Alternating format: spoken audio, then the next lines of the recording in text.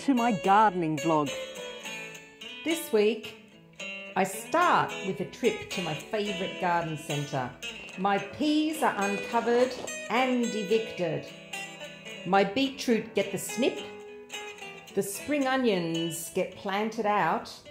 And I make a great lunch with some of my kale.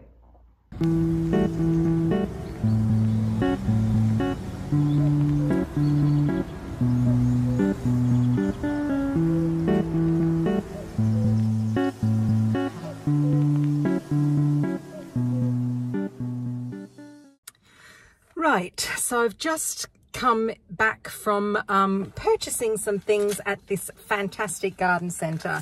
And I just want to show you before I get home. Um, and mind you, I, did, I, th I think I wore the wrong clothes because it's a bit chilly. Um, okay, now to me, any garden centre, any garden centre that sells this here is a winner in my books. So this is Galangal. I mean, how many garden centres do you know that sells Galangal like this? So I was already, when I saw it, I thought to myself, what is that? Is that an ornamental? But no, it is Galangal. Now I had some Galangal and I let it die. Mind you, I did have it for quite a few years. Um, but then, yes, unfortunately, it um, popped its clogs. Is that what you say? Is that the saying? I suppose that's the saying. I'm trying. I've just put some little things down on this seat, on this front seat next to me, um, oh, just so that I could show you how great this garden centre is. The other thing about this garden centre that I just couldn't say no to was they were selling, in their herb section, they have the most amazing herb section, they were selling Thai basil seedlings. How fantastic is that? Again, if any garden seller, garden centre, I can't even say it, is selling Thai basil seedlings, you snap them up as quickly as you possibly can. I also got some normal basil seedlings as well. How wonderful. And I got some coriander. Um, I actually just went to get some bedding and look at this ranunculus. Isn't it absolutely fantastic? What a fantastic colour. It was the only one that they had in that colour. So, of course, I snapped that up. Got some tarragon. Um, I got a very pretty auricula here as well. Ah, look. What a fantastic garden centre this is. And if you are in Lincolnshire, this garden centre is called Pennells. It is absolutely wonderful. I think the last time I came to this garden centre was um, oh, it must have been summer last year. I'd been to a garden, an open garden in Lincolnshire, and the people there said, oh, I, saw this wonderful plant. And I said, where did you get it from? And they said, oh, we got it from Pennells. Like I should have actually known what Pennells was. Um, and I didn't. So I asked them and they said, oh, you've got to go there. And this, this garden centre is absolutely fantastic. It's about a 20 minute drive from my place, but it is well and truly worth it in my opinion. I absolutely love it. It has, they have the most unusual plants and all of their plants are really um, great condition as well. Okay, so I think it's time to take this structure off my peas. I'm thinking about it. I'm still thinking about it as I stand here actually, but um, I'm going to do it. I'm going to take the structure off the peas and hopefully with the heat from the wall that's behind it, the peas will be okay. And if we get any kind of frosts, I will cover them with fleece. So yeah, okay, let's do it.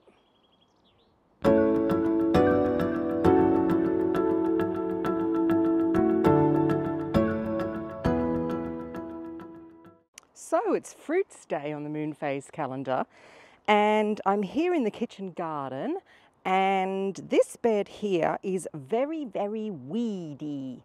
But I'm glad that I've taken the structure apart now because I can get in and actually weed it. Those kind of tents, those grow tents are okay. The only trouble is that the zippy part of them is only on one side. So in order to, order to get into the other side to weed, you have to kind of climb into the frame and you can see there's a bar just here which is makes it very very awkward um, so as a result, well, actually looking at it, as a result, I should have been weeding the front, but I never did. Um, but my peas, these peas in here, are now ready for the next lot of canes.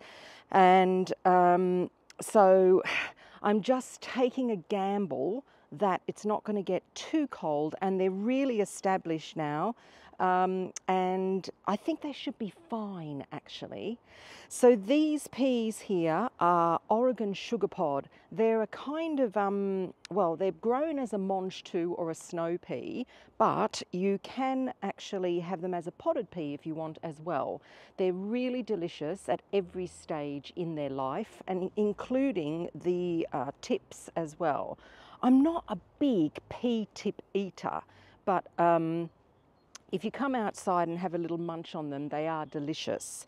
And I notice that at the moment there is no um, pea weevil. Now, saying that, now that I've taken this top off this thing, it'll probably come and, you know, eat all the leaves.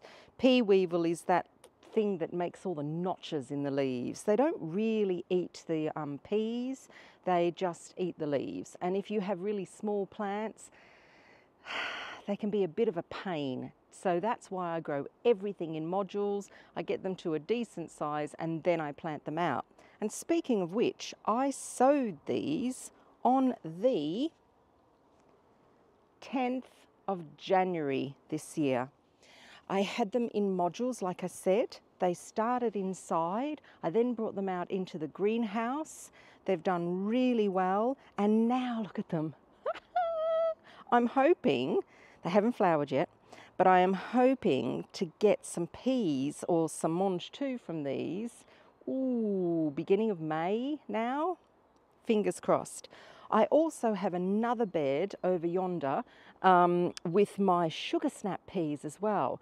They're not as established as these ones, but they are still doing really good and they are outgrowing the little cloche that's over the top of them or, you know, the polythene tunnel that I've got.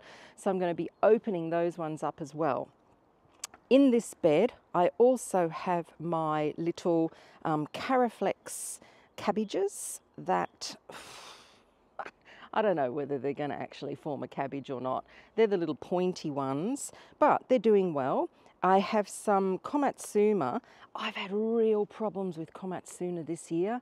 Over on the allotment in the greenhouse, I've got this, well, the my mysterious slug and um, weevil problem. As if you follow me, you'll be able to see um, what I mean. Over here, I have got, oh, and I keep finding them. Look.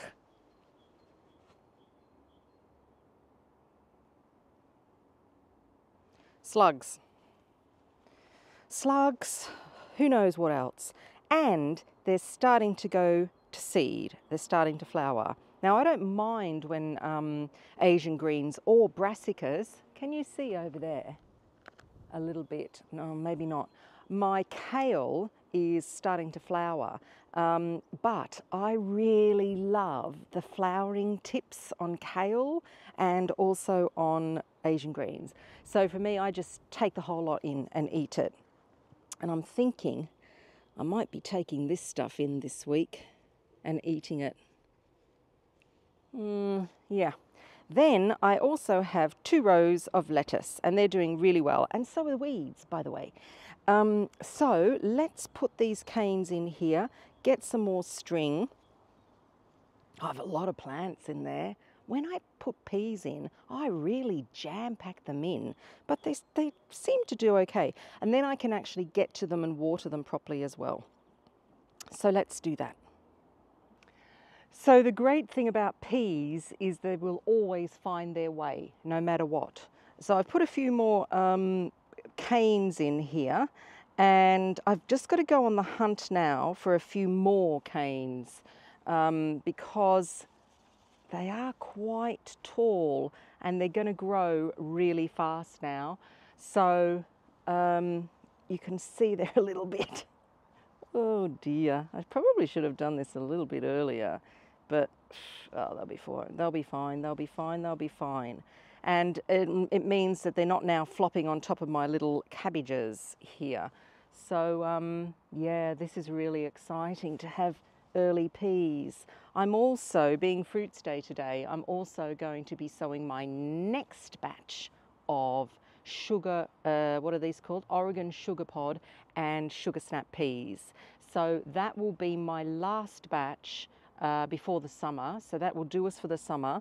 And then I do another batch later on in the summer because that's how I grow my peas. The other peas that I've got are in the greenhouse, but not for long. So let's go and deal with those ones, shall we?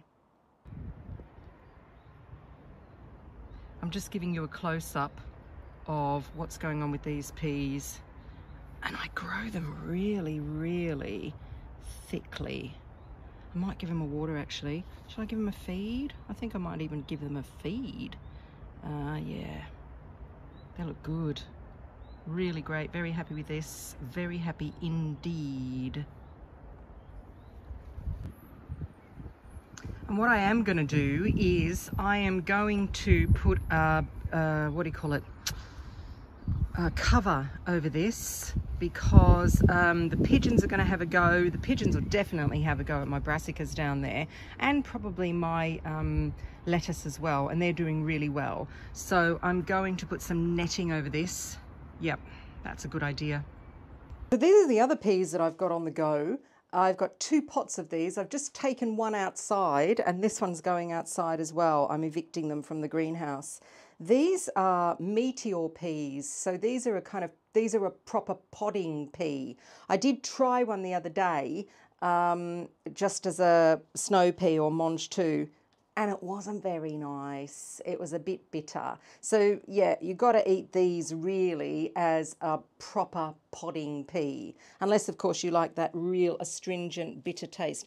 I'm bending over because I'm looking at when I sowed these. I sowed these on the 4th of December last year, and these were my kind of experimental peas to see whether I could overwinter peas here in this greenhouse. And Ta-da! There you go. I can. Um, the greenhouse got down to about, hmm, let me think, minus two maybe, but I do have a little heater in here. So when it was getting really low and when I'd remember to switch the heater on, uh, it was it was always above freezing because I didn't want to lose all this stuff that I've got here in the greenhouse.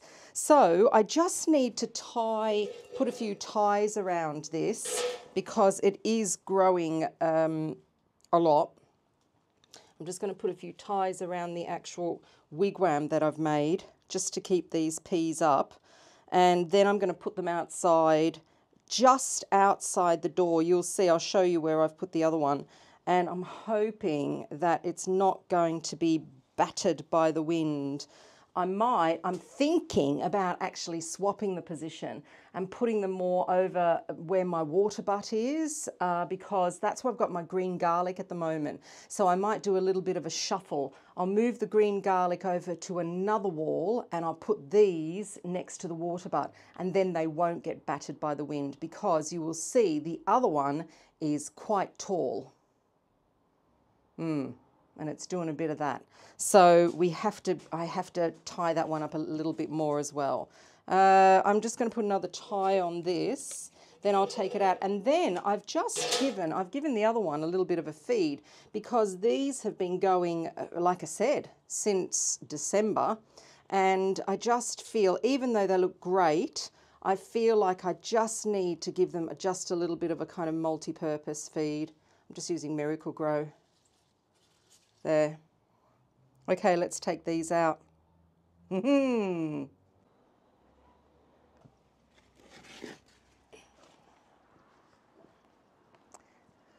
This stuff is called green garlic, and this is um, what I use when my garlic from the store is finished.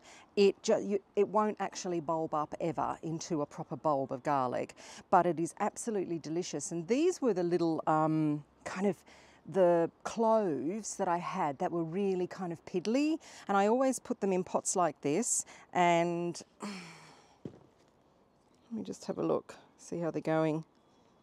Yeah, very nice. They kind they they end up being a little bit like um, big spring onions, but they're um, actual garlic. And these need a water as well. You know, everything needs a water now. I mean, you know, we we have all this rain, don't we? Um, but all the pots, pots need watering. Okay, so I am going to now put these, because they're nearly ready, I'm going to put them over here.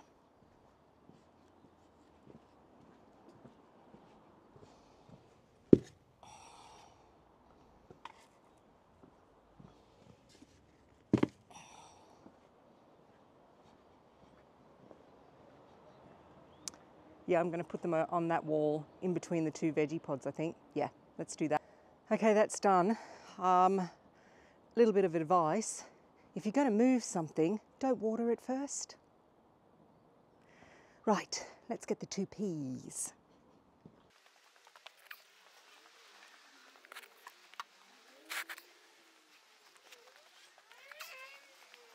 And I've noticed also, I hope my microphone's on because it is getting starting to get blowy again. So what I've noticed though is that this big one here, I can actually tie onto yeah, I'm going to tie it onto my guttering. So that's not going anywhere. Yay, peas. Next year, hmm, I might do another pot because I don't have any other podding peas, podding peas in the um, in the garden. Hmm. Yeah, I might do another pot next year. Hmm. Right, that's that job peas, all sorted. Got to go in and sow some more though. Um, so I will do that. And I sow them in containers, six cell containers. I've just put all of my pots and my containers in the garage behind. And when you need something to show, it ain't here, is it? Unbelievable. This is the first time that I've been really kind of tidy and now I can't show you. But you know those six cell um, containers that you get from the garden centre uh, with whatever you might have in them. I will sow some more of those. I'm go I'll do two lots and I do three seeds per cell. So that will be great, more peas. Now I'm going to go in and have some lunch and I just want to show you what I'm going to have for lunch from the garden. Here we go. Here is my lunch. So this is a salad that I made last night. It looks it looks a bit weird, but I'll explain what's in it. So the main thing is the kale. Remember that kale I was telling you about in the garden? Well, I took some kale leaves off. I took the leaves off the stems um, last night. And then what you do is you cut it up fine and you massage it with a little bit of olive oil, salt and pepper, and you leave it for about 20 minutes to half an hour. And then um, I have got chickpeas in here. So I put the chickpeas in a pan, roasted them in the oven with some smoked paprika, some onion, onion powder, some garlic powder, salt and pepper. Look how great this looks, this stuff. Then um, they then go in with some chicken that I've got chopped up in here. And I've also got some small um, new potatoes that I roasted the other night and I've got that in there. I made a dressing, which was just olive oil, um, white wine vinegar, and that was all. And that white stuff you see there is Parmesan as well. So that's my lunch. It is absolutely delicious. It's Roots Day on the moon phase calendar, and I am in the greenhouse on the allotment. And for once, I'm not going to talk about my flowering brassicas because I notice that I talk about them, my calabrese and my cauliflowers, quite a lot. So today I am going to talk about my beetroot instead. Um, I've just watered it here in the greenhouse, and I must say, in the last few weeks, it's really grown quite fast.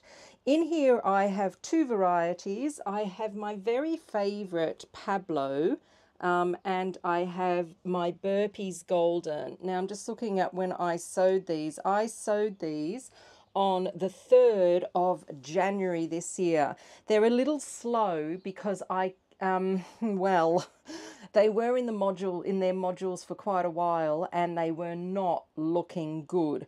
So I then put them in the greenhouse. I did have them in my um, south facing dining room.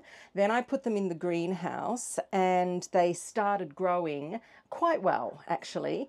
And then I thought to myself, ooh, I think I better just do another batch of beetroot just in case these ones don't pick up. And so at home in the kitchen garden, I have another batch of beet another batch of beetroot on the go, uh, but I do have some different varieties in amongst that one. So here is, like I said, Pablo is an F1. This is the um, beetroot that I grow all the time for my um, well, all year round, round beetroot. It is, I find it fantastic. I find it never goes woody. It has great sizes. I've still got it um, in storage um, in my utility room. It's fantastic.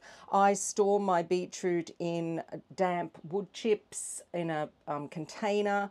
Um, and the other one I've got here is the Burpees Golden, which is just beautiful. So if you have an aversion to earthy beetroot, go for a golden beetroot because um, they are totally, totally, totally different. They don't have that kind of earthy taste. They have a very, very sweet taste as well. The only thing with them is they don't pickle as well as the um, red beetroot, I find. I did some small ones. I preserved some small ones uh, one year in some pickling uh, liquid and they went a little bit um, mushy so they don't really pickle as well. But they are beautiful raw, they are beautiful um, roasted, just gorgeous. And um, so now my beetroot's growing, which is fabulous. And I put it in the greenhouse because I want an early crop of beetroot. So I want these ones to only be small and I want these to take over from the ones that I've got in store. I've still got quite a lot left in store, so these should be fine. I'll just let them grow. And I've put them down the back of the greenhouse here so that I can then start putting stuff down the sides when these brassicas are done and I don't know, can you see that? There's one just here that is um, flowering, which is my Komatsuna. I mentioned my Komatsuna at home. Um, here I had an issue with a little weevil. So I think I've got a little bag. I use these mesh bags here for harvesting over at the allotment. I don't have a, um, a trug over here. And I think I might pick most of them actually, because I've got lettuces growing and the lettuces are starting to look really good as well. The reason why I'm over here on my hands and knees looking at my beetroot is I'm thinking of thinning them out and only I'm only thinning them out because I want them out of here so that I can then put my cucumbers and my melons in here. So if you multi-sow, which is what I do, I multi-sow um, my beetroot. When I, when I sow them as early in the year as I did in January, I multi-sowed two seeds per module. And um, beetroot is a cluster seed so you're going to find that you're going to have more than two beetroot anyhow. For instance I'm just looking at um, a few here. I've got one. I've got four plants in that one. Some of the Pablos Yeah, I've got four plants again. Um, so I'm going to thin them out.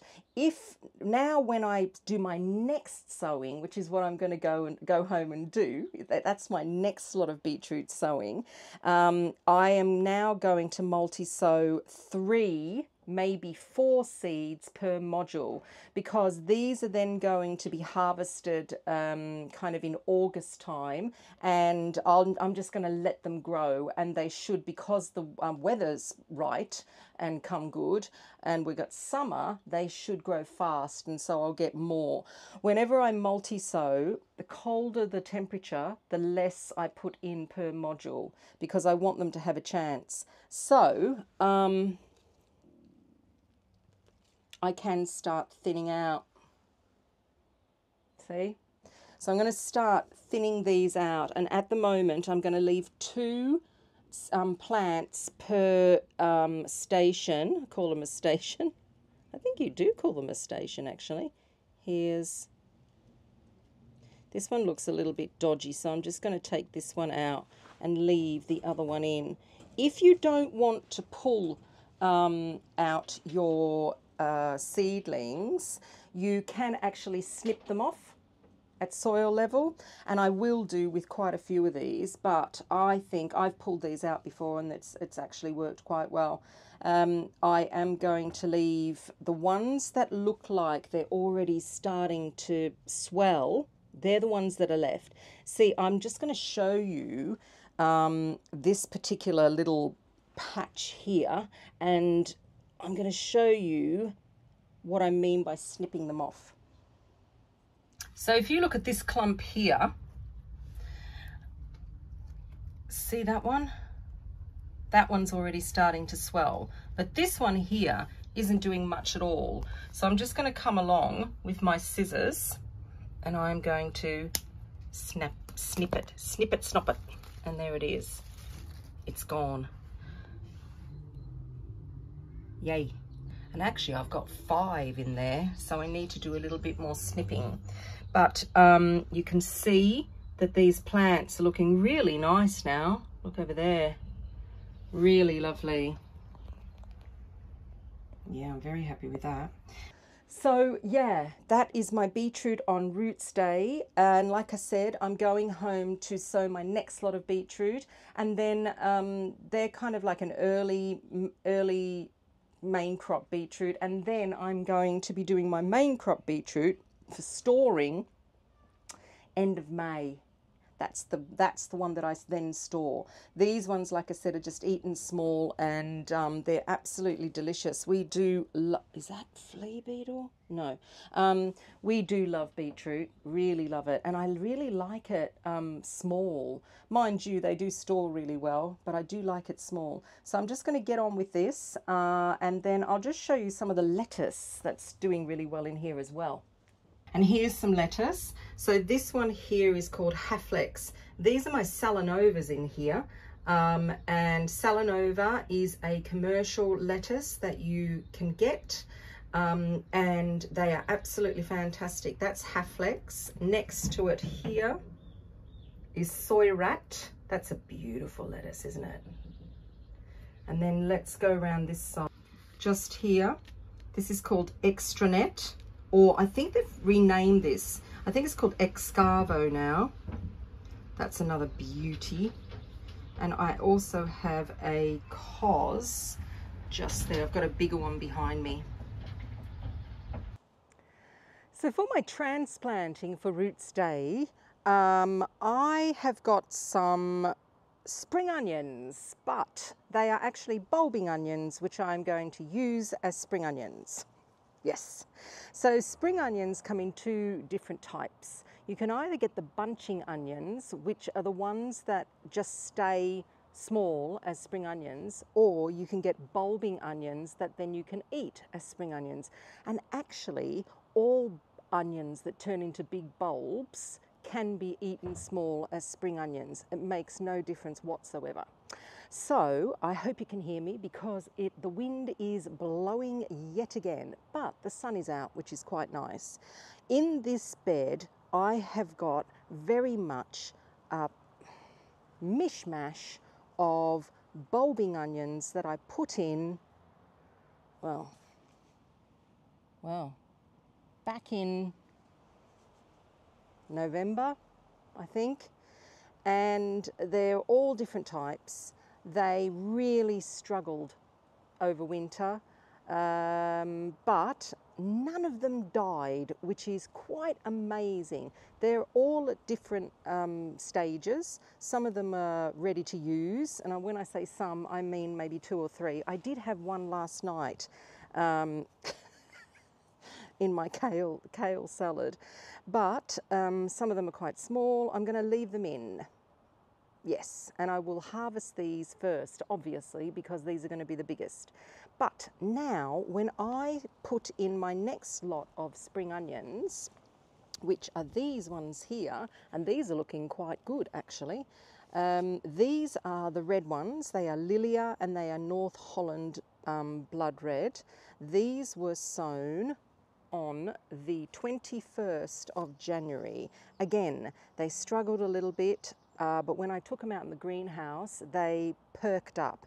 And I think it's because onions, all alliums really need a lot of light. And um, they didn't really get a lot of light where they were. So now they've got light and they're looking good. I multi-sowed these, so there's either two seeds per cell, three seeds per cell, and sometimes four seeds per cell. I wasn't really that fussed. And now when I um, plant spring onions at this time of the year, I usually plant them round the edge of a bed because they well, they might be in there for quite a while actually, and I need to use the center for other things. So at the moment, I've got all these happening here. These will go pretty quickly, and then I'm not going to replant in the middle, but I will, I do replant all the way around the edges, and it just makes things a lot easier. I'm just looking under here, there. That is my beetroot under there. We'll come to that in a minute. Um, and so to plant these out is pretty simple. All I do is I get my dibber, I dib a hole, which I'm going to do here, make it quite large. It's a little bit like how I did the how I do the um, radish. If you saw me do the radish, take the actual cell and I stick it in. That's it. Simple. I am going to give the other ones a feed. Uh, I will just give them a multi-purpose feed, um, so something like Miracle-Gro. Spring, these spring onions I haven't got covered, but I will actually cover them now because um, allium leaf miner is starting, and uh, I want I don't want any allium leaf miner on these, so I will put a little a mesh um, cover over these, and they shall be fine. And then I'm going to have some really nice spring onions. I did say last January, and I wasn't going to bring this up, but I thought, oh well, it's all about transparency, isn't it? Um, I did say last January that I would never be without spring onions ever again. Well, I'm afraid that I um, told a little bit of a porky uh, because I was without spring onions which is not good when you say that, especially on YouTube. oh dear.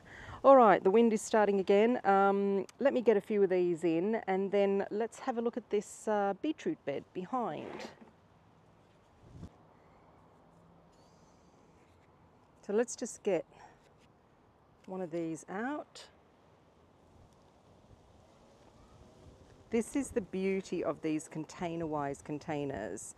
They've, these have been in here for quite a while and uh, I can't see you, but um, because these Containerwise containers have these ridges in them that go downwards, you never get the uh, roots going uh, spirally.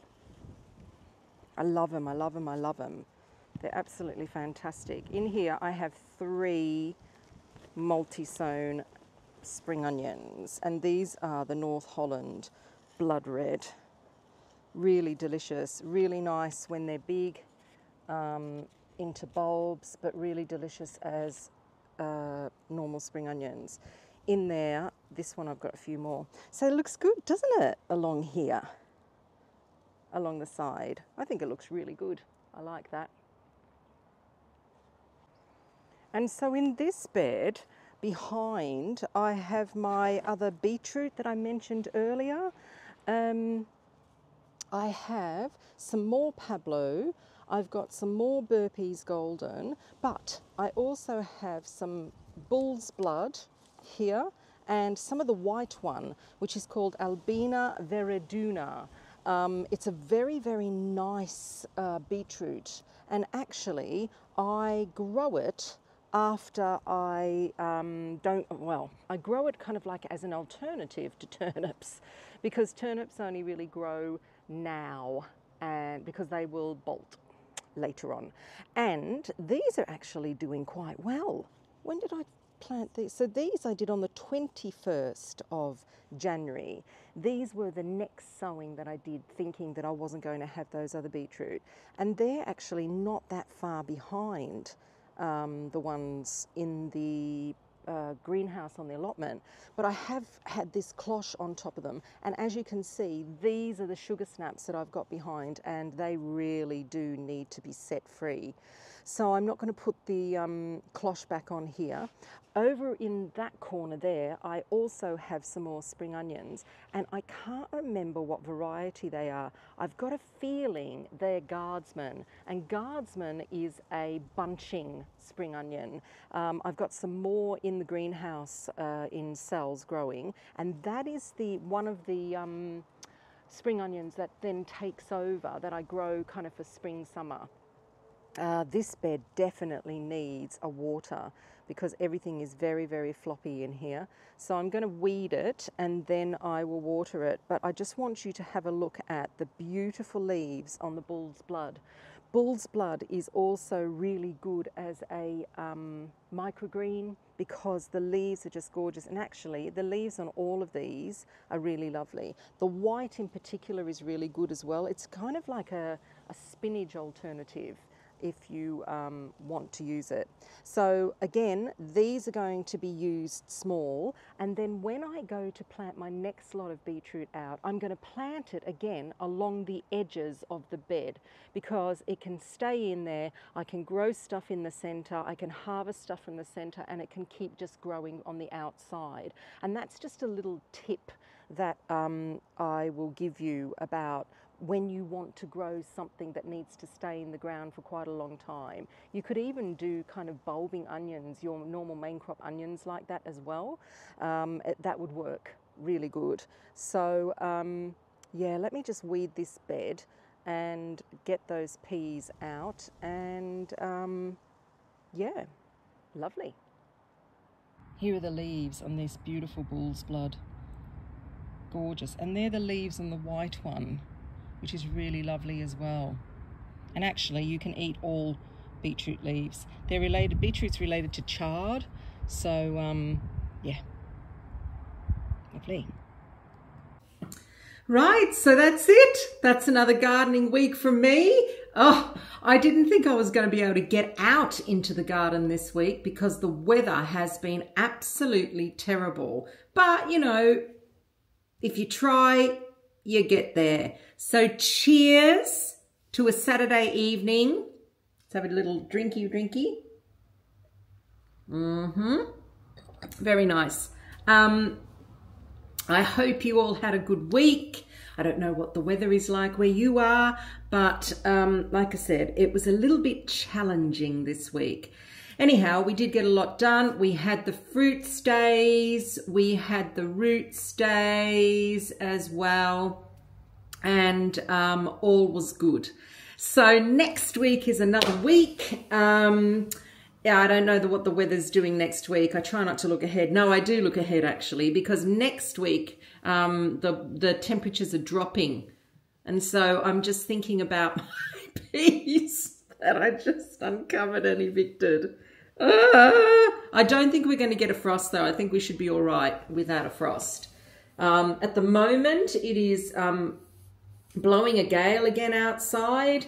Uh, so um, I hope that they're okay. I kind of tied everything in and uh, that's all you can do. I mean, they've got to toughen up these plants, don't they? If they want to, uh, spend a summer here in Lincolnshire. Anyhow, thank you again. Thank you for watching and I will see you next week for my garden vlog. Uh, tomorrow is uh, my next installment of my moon phase gardening and what I will be sowing and growing. Um, I've had some very nice um, messages from people who are trying it out. I also went and did a garden talk this week um, at a WI meeting, which was quite eventful actually. Uh, because there were a few people trying to get into into the hall. But um, it was lovely. The ladies were lovely as well. And we talked about no dig and we talked about moon phase gardening. So see you next time. Cheers, and thumbs up. That'd be nice. And also subscribe. See you later. Bye.